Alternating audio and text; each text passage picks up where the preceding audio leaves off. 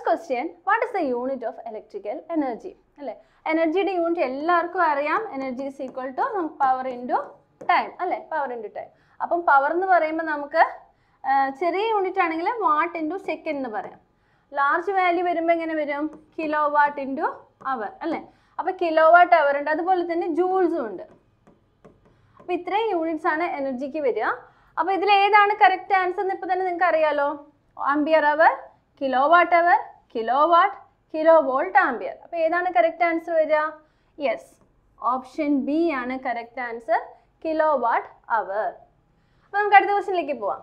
Next question the magnitude of electrical shock on a human body depends അപ്പോൾ അപ്പോൾ ഒരാൾക്ക് shock അടിച്ചാൽ അതിന്റെ മാഗ്നിറ്റ്യൂഡ് അത് ഏതൊക്കെ കാര്യങ്ങളെയാണ് ഡിപ്പെൻഡ് ചെയ്യുന്നത്? ഒന്ന് the current passing through that man definitely അത് ഡിപ്പെൻഡ് ചെയ്യും അല്ലേ? അതുപോലെ തന്നെ രണ്ടാമത്തെ കാര്യം എന്താണ്? എത്ര സമയം ദ ഡ്യൂറേഷൻ എത്ര സമയം അത് ബോഡി കൂടെ പാസ് ചെയ്തു? മൂന്നാമത്തെ കാര്യം അത് ഏതൊക്കെ ബോഡി പാർട്സിൽ കൂടെയാണ് മെയിനായിട്ട് പാസ് ചെയ്തത്? ചെസ്റ്റ് ഹേർട്ട് അതൊക്കെ പാസ് ആ ഭാഗത്തെ കൂടെയൊക്കെയാണ് പാസ് ചെയ്യുന്നതെങ്കിൽ പെട്ടെന്ന് തന്നെ ഡെത്ത് സംഭവിക്കാവുന്നതാണ് അല്ലേ? അപ്പം ഒരു കണ്ടീഷൻ ഇപ്പോൾ ഹേർട്ടിലാണെങ്കിൽ seven milli ampere current three second ഡ്യൂറേഷനിൽ pass ചെയ്താൽ ഡെഫിനറ്റ്ലി മരണം ഉറപ്പാണ്. ആ അപ്പം അത് ഈ മൂന്ന് കാര്യങ്ങളും ഇവിടെ വന്നിട്ടുണ്ട്. ഫസ്റ്റ് ഓപ്ഷൻ നോക്കിക്കേ current flow through the body yes it is depends second the path of the electric current through the body ഏത് പാത്തിൽ കൂടിയാണ് കറണ്ട് പാസ് ചെയ്യുന്നത്? മൂന്ന് the duration of the electrical shock okay അപ്പോൾ ഈ മൂന്ന് കാര്യങ്ങളും ഉണ്ട് so which is the correct answer option D ആണ് കറക്റ്റ് ആൻസർ വരിക. അപ്പോൾ അടുത്ത ക്വസ്റ്റ്യനിലേക്ക് പോവാം. Third question one of the following components is a passive device അപ്പോൾ ഡിവൈസസ് രണ്ടായിട്ട് നമുക്ക് തിരിക്കാം. ആക്റ്റീവ് ഡിവൈസും അതുപോലെ തന്നെ പാസീവ് ഡിവൈസും ആക്റ്റീവ് ഡിവൈസ് എന്ന് പറഞ്ഞാൽ എന്താണ്? The devices which inject power or energy in to the circuit സർക്യൂട്ടിലേക്ക് പവർ കൊടുക്കുക അല്ലെങ്കിൽ എനർജി കൊടു കൊടുക്കും. ആ അതിനെയാണ് നമ്മൾ ആക്റ്റീവ് ഡിവൈസസ് എന്ന് പറയുക ആക്റ്റീവ്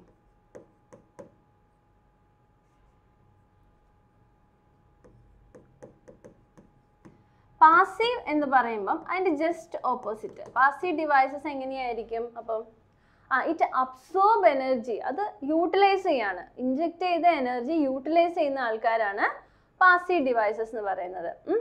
അപ്പം ഇതിന്റെ എക്സാമ്പിൾ അറിയാവോ? ആക്റ്റീവ് ഡിവൈസ് എന്ന് പറയുമ്പോൾ നമുക്ക് കറണ്ട് ഓർ വോൾട്ടേജ് സോഴ്സസ് വരും. ജനറേറ്റേഴ്സ് വരും. അല്ലേ?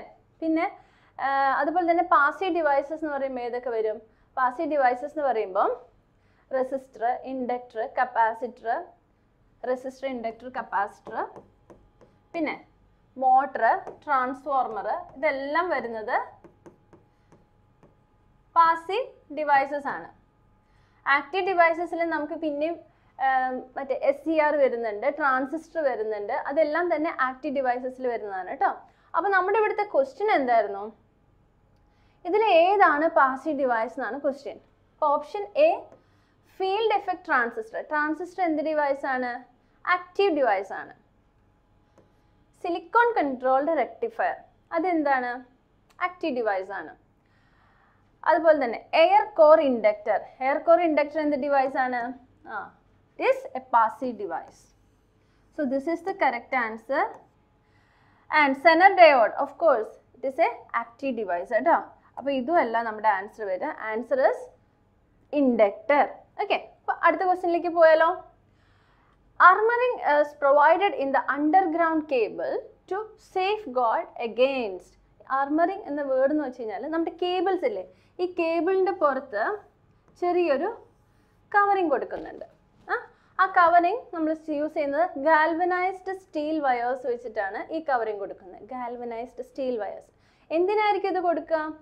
നമുക്കറിയാം. ഇത് അണ്ടർഗ്രൗണ്ടിൽ നമുക്ക് അണ്ടർഗ്രൗണ്ട് കേബിൾസ് എന്ന് പറഞ്ഞാൽ തന്നെ മണ്ണിന്റെ അടിയിൽ കുഴിച്ചിടുകയാണ് അല്ലേ?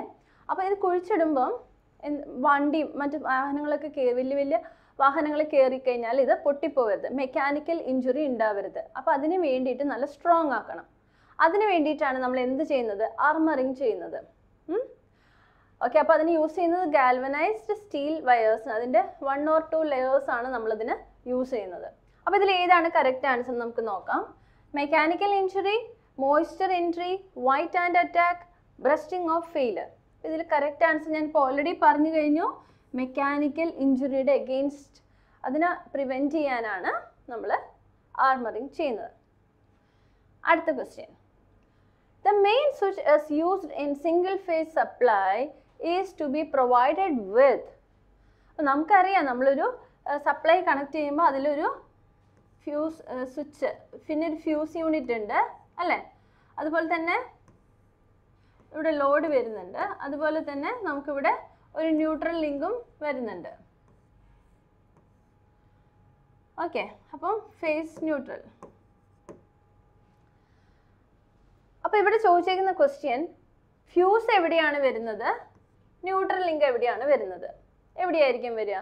ഫ്യൂസ് എപ്പോഴും വരുന്നത് ഫേസിലും ന്യൂട്രൽ ലിങ്ക് എപ്പോഴും വരുന്നത് ന്യൂട്രലിൽ ആണ് അല്ലേ? എന്തുകൊണ്ടാണ് ഇങ്ങനെ കൊടുക്കുന്നതെന്ന് അറിയാവോ? ഇപ്പൊ ഫ്യൂസ് എടുത്ത് ന്യൂട്രലിൽ കൊടുത്താൽ എന്ത് പറ്റും? ആ എന്തെങ്കിലും ഹെവി കറണ്ട് ഓവർലോഡ് കറണ്ട് വരുമ്പം ഫ്യൂസ് എന്തായാലും ബ്ലോ ബ്ലോ ചെയ്യും. അതായത് അത് മെൽട്ടായി പോവും. അപ്പോൾ സർക്യൂട്ട് ഓപ്പൺ സർക്യൂട്ടഡ് ആവും പക്ഷേ എന്താണ് പ്രശ്നം? നമ്മൾ ഫ്യൂസ് ഇവിടെ കൊടുക്കുവാണെങ്കിൽ നമ്മൾ ഏത് ലോഡാണോ സപ്ലൈയിലോട് കണക്ട് ചെയ്തേക്കുന്നത് ആ ലോഡിൽ എപ്പോഴും ഹൈ പൊട്ടൻഷ്യൽ ആയിരിക്കും. അവിടെ എപ്പോഴും ഒരു സപ്ലൈ വന്ന് നിൽക്കുകയാണ്. അപ്പോൾ അതിനൊരു പാത്തില്ല ഇപ്പം നമ്മളെങ്ങാനും പോയി തൊട്ട് അതിന്റെ ഇൻസുലേഷൻ ഫെയിൽ ആയിട്ടുണ്ടെങ്കിൽ നമുക്ക് എന്ത് പറ്റും? നമുക്ക് നമ്മളിൽ കൂടെ ഒരു പാത്ത് എർത്തിലേക്ക് കിട്ടുകയാണ്. സോ എന്ത്?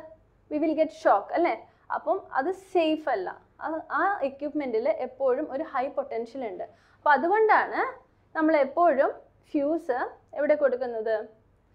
ഫേസ് വയറിൽ കൊടുക്കുന്നത് ഓക്കെ അപ്പോൾ അത് കറക്റ്റ് ആൻസർ ഏതാന്ന് നോക്കൂ. Fuse in both line and neutral തെറ്റ്. A link in the line and fuse in the neutral തെറ്റ്. അത് പറ്റില്ല നമ്മളിപ്പോൾ പറഞ്ഞല്ലേ? A fuse in the line and a link in the neutral neutral link എന്ന് വെച്ച് കഴിഞ്ഞാൽ it can withstand high temperature ഒത്തിരി കണക്ഷൻസ് അങ്ങോട്ട് വരുന്നതാണ്. അപ്പോൾ ഹൈ ടെമ്പറേച്ചറിനെ വിത്ത്സ്റ്റാൻഡ് ചെയ്യാൻ പറ്റുന്ന ഒന്നാണ് ഈ ന്യൂട്രൽ ലിങ്ക് എന്ന് പറയുന്നത്.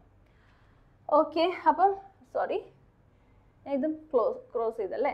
സോ കറക്റ്റ് ആൻസർ എന്ന് പറയുന്നത് ഓപ്ഷൻ സി ആണ്. A fuse is in the line and a link in the neutral അപ്പോൾ ഇതാണ് കറക്റ്റ് ആൻസർ വരിക. ഓക്കെ